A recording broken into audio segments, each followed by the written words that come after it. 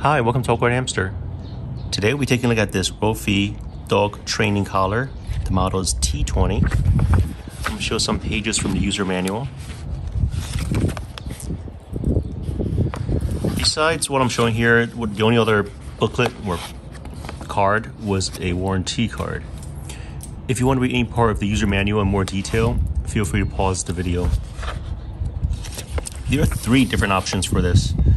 There's vibration, there's the zap, and there's a beep. Now, I will not be showing the zap. My dog is too young for it, and she's not unmanageable.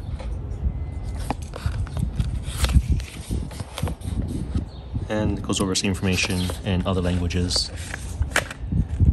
It's charged using a micro USB cable.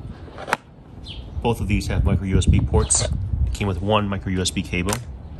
Doesn't take long to charge. The charge is like about two hours. This is part of the Zap collar. Oh, these two. If I want to use the Zap functionality, I'll then screw that here. It also came with this, but I'm not quite sure how this is used. It looks like a fuse.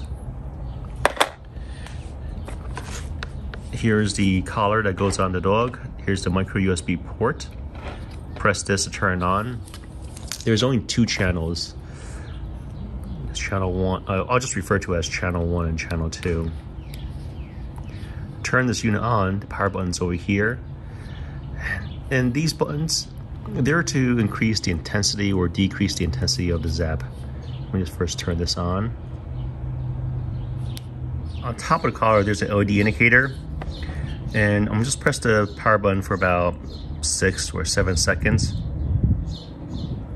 I'm gonna let go. Now cycling between red and green. Then on here, I'm just gonna press like the, the beep button. Just trying to pair with the, the collar. So now if I press beep again, it's beeping. If I press this, it's vibration. And if I had the zap hooked up, if I press this, it will then zap the dog. Mine's currently set to channel one. However, flip it to channel two and then press the beep, nothing happens. Head back to channel one here. There's no volume adjustment for the beep. If I were to press the up or down arrows, this is just adjusting it for the zap functionality.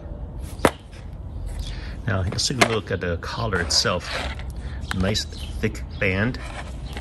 It's, it's all silicone, very soft silicone, slippery too. Even the remote is made out of like that same type of silicone. My dog is pretty well behaved. The only thing is she doesn't understand where not to go yet in the front yard. I have a fence in my backyard. So for example, she's just there very peaceful.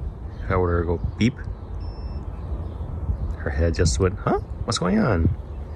zoom in a bit and then set it to vibrate. That got her attention.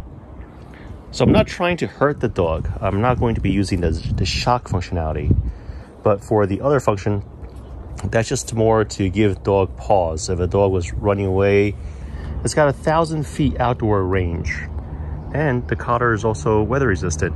They say it's waterproof, but no way I'm gonna let my dog swim with this on.